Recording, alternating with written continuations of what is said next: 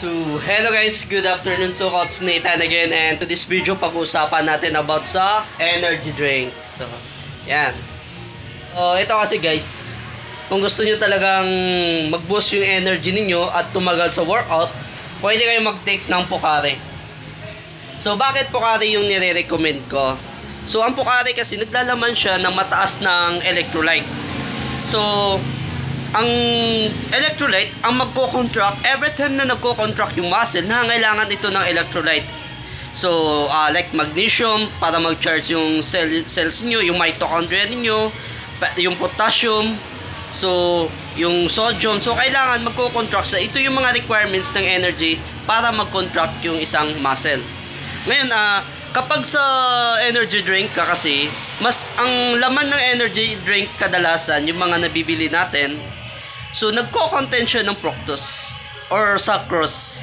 So, ang sucrose at saka fructose kasi, ah yung, I mean, yung sucrose, combination of glucose and fructose. So, and then naglalaman lang siya ng caffeine. Pang ang caffeine, ang trabaho ng caffeine, parang pang stimulant lang siya.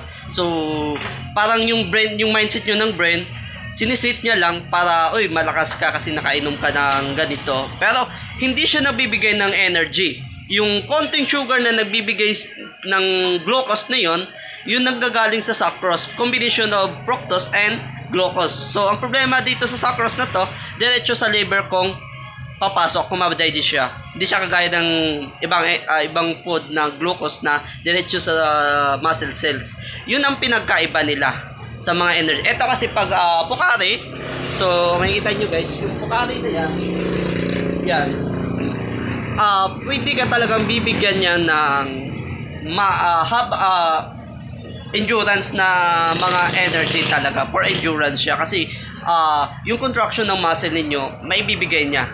And then dun sa regarding naman dun sa sugar so hindi kayo mamumblema sa sugar cause ah, kung naubusan kayo ng glucose pwede naman mag-switch yung katawan natin ng fats bilang source of energy. So, meron kayong pagkukuhanan pa rin ng energy. Ang problema dito, kapag naubusan ka ng electrolyte, hindi na magkukontract yung muscle. Magpapatig na yun, pupulikat ka na doon.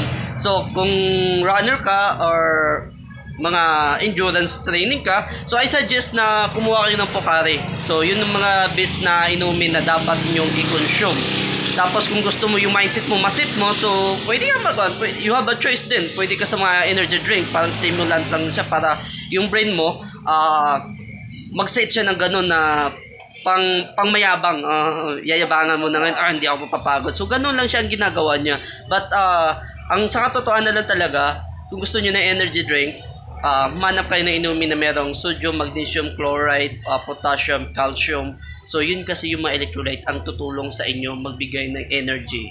So, that's all. Thanks for watching my video, guys. And, uh, please like, uh, kung bago pala kayo sa channel ko, please subscribe my channel and don't forget to like. So, thanks for watching.